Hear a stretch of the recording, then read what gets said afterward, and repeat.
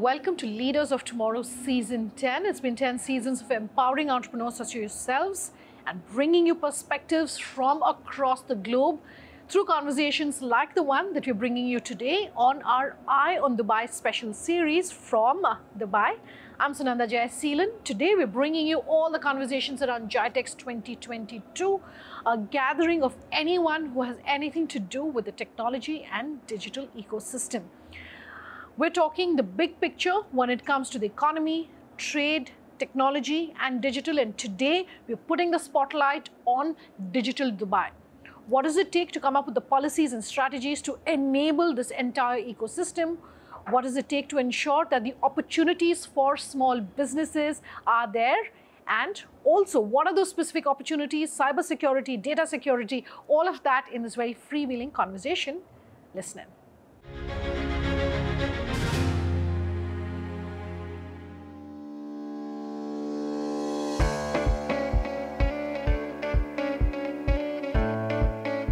At the GITEX 2022, one of the biggest tech events in Dubai, major global tech players discuss the latest technological trends to understand what makes Dubai a global startup ecosystem. GITEX Global unifies the world's most influential ecosystems, advancing business, economy, society, and culture through the sheer power of innovation. The Tech and Startup event unveils new worlds of promise from the transcendent power of 6G to the vast virtual business ecosystems of the metaverse.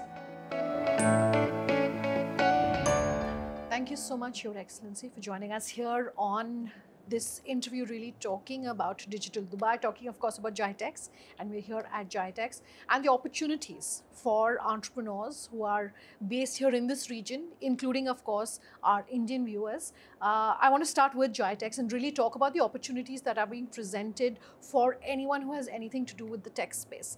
Uh, can you, you know, sort of set the ball rolling by giving us that? First, context? I would like to thank you for being here today. And uh, GITEX, as you know, it is international events. Mm. It is a chance for all uh, co companies and the government and the private, from private sector to government to, to see what technology is offering today. Yeah. You know, now in GITEX, you will see big number of attendance in GITEX. We have almost four different events in GITEX. So we have a GITEX, we have also for small, uh, small and medium business, which is called something uh, Div Salam, and we have also AI exhibition at same same place uh, during GITEX, uh, time. With GITEX, I think you can experience and you can see what other government they can offer, Mm. how the services is provided today, uh, channels, what channels they, they are adopting, so you can see some channels is adopting mobile based, some channel is adopting metaverse based, and also you can see a lot of experts exchanging knowledge and exchanging exchanging also about uh, some projects and building relationship with the with the others. So Okay. GITEX it is like a hub where you can see government, private sector, Mhm. and even students and the university joining together in order to think about the future and how the government from our side as a government provide a service for our, our citizen and creating increasing our happiness in the society in general. Okay, uh, I want to talk about Digital Dubai and the fact that while as an organization and an entity, I understand it is uh, not very old, digital and digitization and technology, of course, is nothing new to the city of uh, and to Dubai. Just talk to us about the different pillars that you have. I understand there are seven pillars that you look at and that you're, you know, very interested in. Dubai, they have maturity with the digital transformation, high maturity. We are number one as e-government in the mm-hmm. region. Mm-hmm. We started since 2001. Mm-hmm. We started with the electronics governments. Then we moved to the mobile government in 2013. Then we moved to smart city. Mm-hmm. Today we moved to a digital Dubai. Okay. And that movement, because in uh, in 2015, where is the smart city, the government decided to start engaging the private sector in certain limit Yeah. to provide the service. Mm. In digital Dubai, there is one new pillar added, which is data. Mm. and the government want to see how the data can play main role in government decision and how the government can be more smart, more proactive, dealing with the with the with the uh, activity in the city. Today in Dubai, you can see more than 200 different nationality. Still, we can provide a good service for them. Still, we are scoring the fifth smart city worldwide. Still, we, we can score number one in three elements in the uh, in the uh, infrastructure, in the contents, in the services, and we are number four in technology. Sure. So with that kind of uh, of movement, uh, Dubai decided to redesign or re uh, re-engineer themselves by combining all digital elements in the city Okay. to be under one umbrella. Okay. To, today, if I'm talking about digital Dubai, I'm talking about smart city, mm-hmm. smart government entity, mm-hmm. uh, Dubai security, mm-hmm. Dubai data, Dubai statistics. statistics. So all of us, we should sit and creating one digital strategy for a city. Yeah. And from the execution part also, we have to work as one team in order to be able to execute. Sure. You will see a lot of view, different views. So people who's executing for the smart city, they have their own view. Security people in digital world, they have totally different view.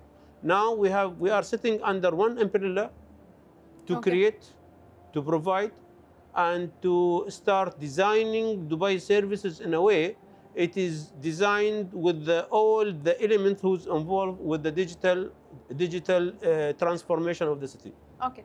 Uh, I'm sure that's not been So- easy because you know you are of course talking about technology that's future focused Yes. and you're talking about a strategy that's bringing all of this together. How have you done that? With the with the strategy, so we have a strategy talking about government service from a strategy point of view. We are supporting. We have support role also in digital economy, and we have support. We, we are leading in digital skills. So we are also. We know that there is uh, a challenge always will be with the digital skills. Uh, we have uh, uh, different ages, different needs in, in the city. So we are we consider as a youth society, but still we have uh, disabled people in our society. We have also elderly people in our society. We have high skill Yeah. citizen in our in our society. We have low skill citizen in our society. So with that kind of, of challenge, always always we are we are looking to how to customize and design the service to to to make all this type of people who's living in our society happy hmm. and provide different channels also. Hmm. So you will see still some people they want to go to, to a counter, mm-hmm. having human interaction. Mm-hmm. Some of them they still they want to. It's, it's okay for them to deal with the mobile uh, interaction. Sure. But our kids today, they are more to gamification approach.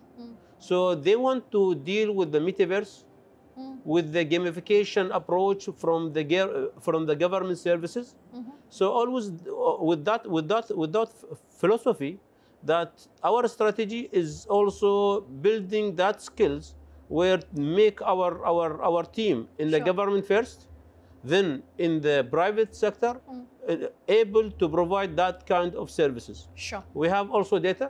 We, we believe that the data is the main deliver uh, elements if we would like to create a happy society.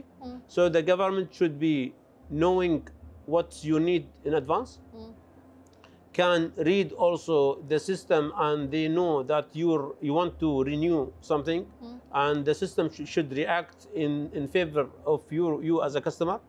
And also some some policy need to be revised because we have also collecting different uh, input and feedback from Sure. our, uh, from our customer. We are evaluating our services and from data point of view we we, we look to the service and re-engineering Sure. engineering the service. We have also uh, se- security as a part of our element. So we need to wrap all that transformation with a secure environment. Privacy is part, part, part of that concern. So we have a digi- digital transformation where Even the private sector engagement will be part of our digital digital uh, transformation, and all that transformation need to be either the government will play the executor Sure. or regulator in some parts Okay. or support in some in, in some part. So Sure. we need to see totally that make you feel that you are living in the best uh, city in the world. Mm. We need you to relax and enjoy your life in Dubai. So the system and the services should be smart and re-engineering themselves and finishing your uh, your your transaction in very Sure. and, and smart way Mm. we need you also to be fully con- we need our system to be fully connected Mm. so no need for us to ask you to bring any paper Mm. this is why in 2000 uh, in 2020 Mm. the government started 2016 talking about paperless 2020 we finish the paperless uh, initiatives. Okay. today in dubai no need for you to finish any transaction. You, you no need uh, to bring any paper with you. So the government is fully connected fully smart. It, hel- it will help you also to enjoy your time here in dubai. Mm. uh, take care about yourself Sure. your kids and also uh, enjoying the dubai multicultural approach I have to take a quick uh, commercial break on that note, sir. We'll be back in just a moment on the special coverage. Do stay tuned.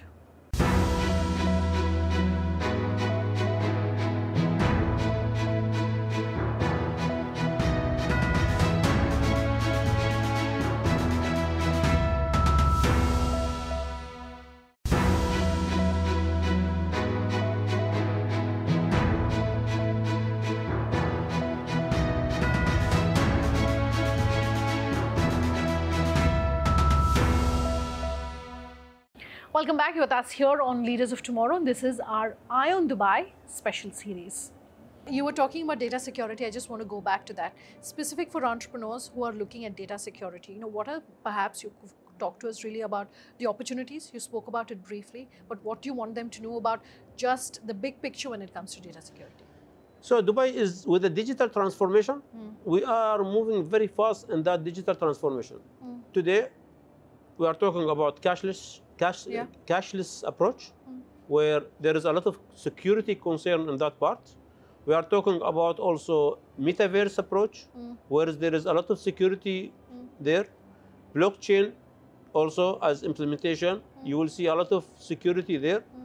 Instead, with the mobile-based application and other, other, other things. In Dubai, always, even in digital Dubai, we are fully smart security application that we implement in a city. So even in the government level, I can see the network, I can see the ports, I can see the, uh, the uh, securing the email, securing the infrastructure, without even calling anyone. So it, the, our our network is fully connected, fully secure, and always we are revi- re- revising our our our systems, uh, uh, building more layer to the, to the to the system. From the private sector, it is a chance for uh, entrepreneur Okay. to provide a solution for them, to Sure. provide uh, uh, software, either cloud or, or, or, or in-premise solution as a security. Sure. And as we know, everything become digital today. Sure. Before COVID, people talking about normal media. Now you will see people starting adopting digital media. Okay. Before COVID, people talking about marketing. Hmm. People now adopting the gi- Digital digital, marketing. Hmm. marketing. Before COVID, people talking, talking about only education, hmm. which is normal education style. Today, talking about also smart education. Shopping, your behavior has been changed during Sure. COVID. The, your dealing with the restaurants has been changed.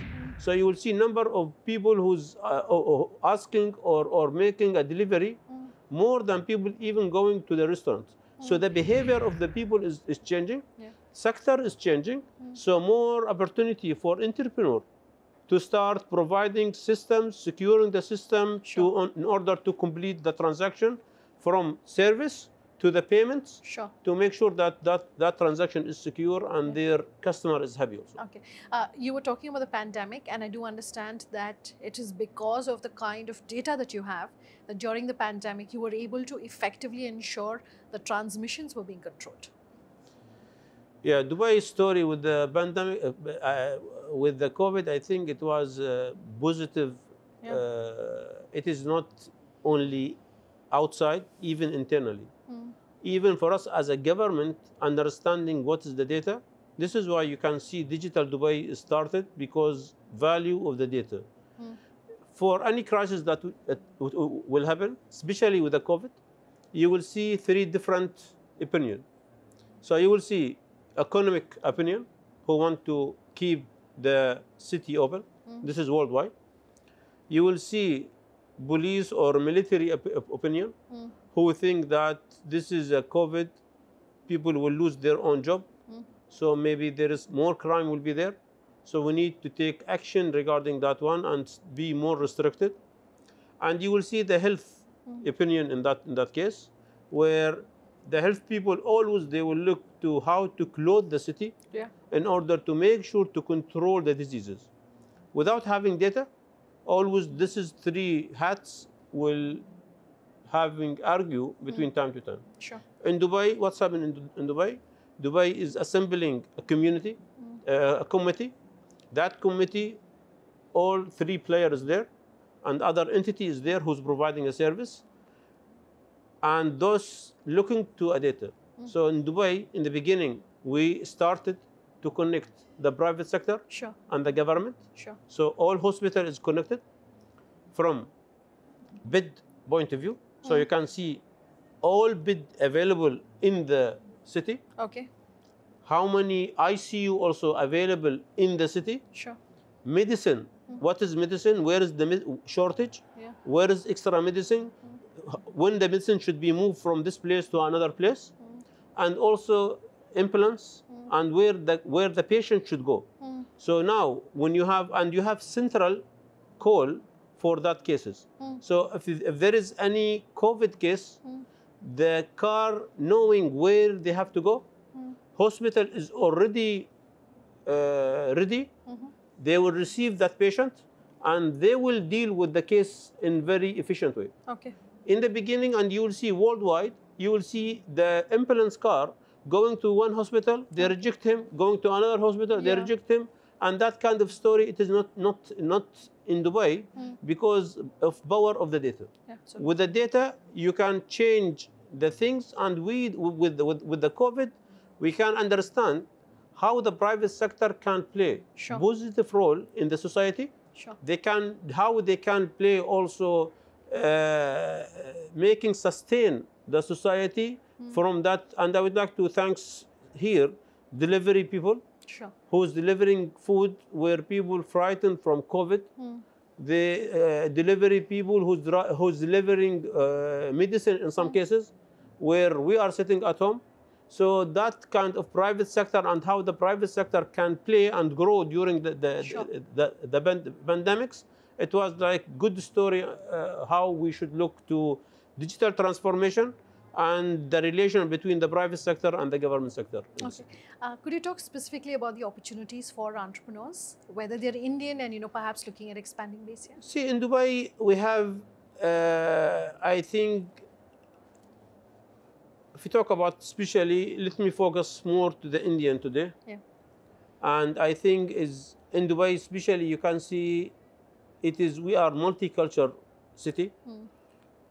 So if you will come in Dubai, you will see that you are still in your country. You can easily you can you can find your food, your school, your community, and you can also seeing someone from your neighborhood and you can start your own your own business. In Dubai, we are adapting the technology in very fast way. Mm. In Dubai, we are a brand in a region mm. where if you provide a service and you can if you succeed with your solution, you can grow from Dubai to worldwide. Mm. We have Souq story, Uh-huh. we have Careem story, mm. and we have many stories in Dubai where people started from Dubai and they grow. Mm. We have very in, uh, airline connection mm-hmm. like Emirates Airline. Mm-hmm. You can you can build your own business from here, and connecting to Africa and other and, and, and other places and Arab region. In Dubai, easy for people. If you will invite them to Dubai, they will come to Dubai. Mm-hmm. Not only to see your business, it's also to to to visit the city, Sure. seeing different different uh, things, different initiatives. From technology, we are brave enough to adopting and legislate the new technology. Today we have we have policy for the bitcoins, we have policy for the NFT and digital asset. We have we are talking about the metaverse in the city. So there is something new and very fast growing in Dubai. Okay. Maybe you can see even from the media point of view. Dubai, from the media, you will see a lot of people multinational national here. So easy for you also to have this is multinational approach, mu- multinational uh, growth, where uh, you can experience what other city, uh, other other citizens doing, Sure. and you can also uh, either changing your product or uh, going ahead with your with your idea and Sure. promote it as as as a new product and brand. Okay. Uh, my last question then for an entrepreneur who's watching our interview, what advice would you want to give them? Well, uh, our advice it is a chance for entrepreneur to grow in a place where they can add value. I think we can see the the things like Amazon, Uber, Careem, and usually what I heard from other entrepreneur that start to copy someone else's idea and start after you copy the idea, re-innovate the idea in order to have that that idea uh, more uh, creative than than the than the the original idea. Uh, it is also for people who want to disturb the market. We have also now cashless approach.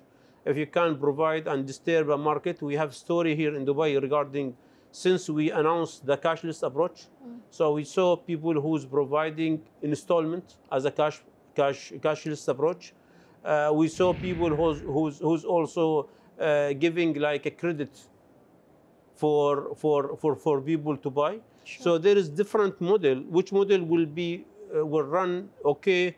Which model will will not run okay? We don't know. But in general, it is a chance for innovation, for seeing opportunity. We have metaverse approach. Sure. So our question is: You can add something in the metaverse. You can build something around the metaverse. So good having you here on the show with us. Thank you so much for your time. Thank you. Thank, you. Thank you. We're out of time on tonight's conversation, but we will continue bringing you all the conversations that matter around the digital ecosystem, around AI, around metaverse. Do stay tuned for the rest of our special coverage. For tonight, it's a wrap. Thanks for watching. Have a good time.